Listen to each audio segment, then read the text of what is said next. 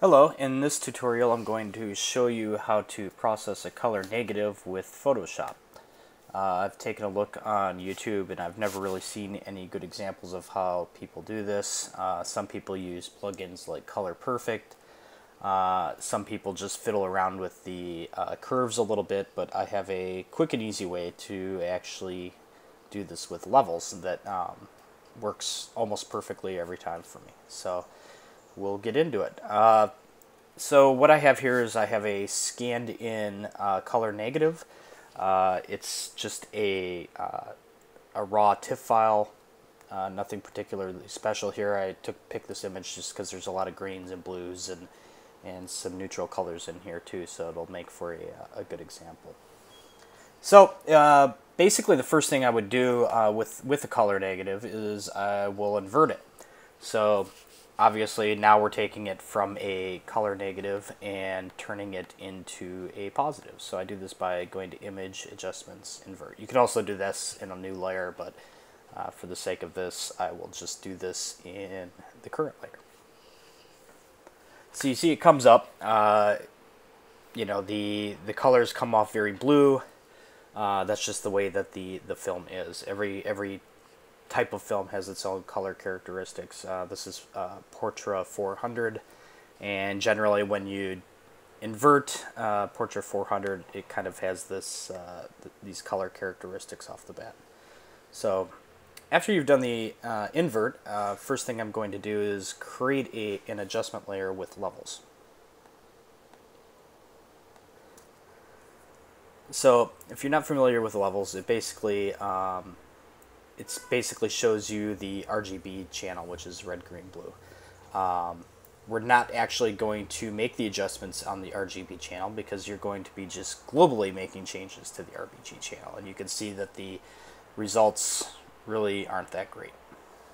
So we're going to make adjustments to each individual channel. And so basically what we're doing here is we're compressing uh, the histogram. So we're making sure that we bring the blacks to the black point and we're moving the whites to the white point. Uh, and the best trick with this, uh, with the Mac, uh, I'm not sure exactly what it is on the PC, but on the Mac, if you hold down the Alt key and you drag uh, this left triangle here, it'll turn red, and I think that they call that a clipping mask. So you'll see I move it, and you'll start to see clipping. So that means that uh, anything on this side, if it's black in, in that red, that means you are clipping and you've lost all details. So generally what I do is in the red is I try to have as less clipping as possible. So I try to find a spot where you know there's maybe just a little bit of clipping and I expect black to be there. So if you look there, I'll let it go you know, that's pretty black, so I would expect that to, to be black there. You're going to do the same thing on the right-hand side, but now what you're doing is you're adjusting the whites. And so you're going to do the same thing, hold down the Alt key, and move it over until you know you start seeing some clipping. Don't worry about, you don't have to be super precise here.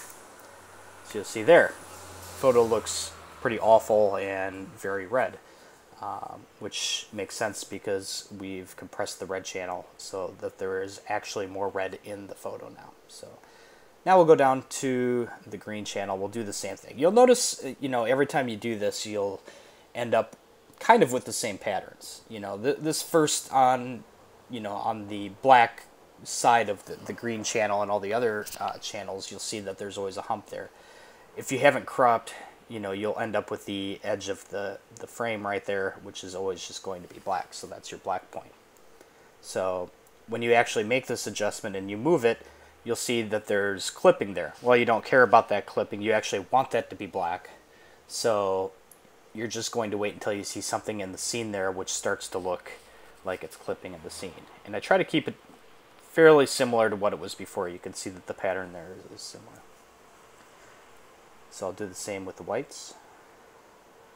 Bring it in. You'll see it's you know clipping in similar places. Starting to look a little bit better now. Now it's got a little bit more of a green cast to it. So now we'll actually move to the blue channel. Same thing. You'll see the hump there is this piece here. So you know you know you'll at least have to go past that. So I usually just zip by it.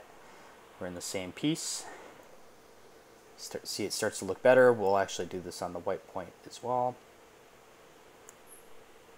Perfect. There we go. That looks like a the photo that I actually took. Now from here you can make adjustments to uh, to things like contrast and, and do any sharpening that you want to do. But this is a quick and easy way to actually process color negatives without having to buy a plugin. And quite frankly, I think this is quicker and easier than using some of those plugins that exist. So if you have any questions, feel free to uh, make a comment in the comment section and hit subscribe. I'm planning on doing some more tutorial videos like this. All right, thanks for listening.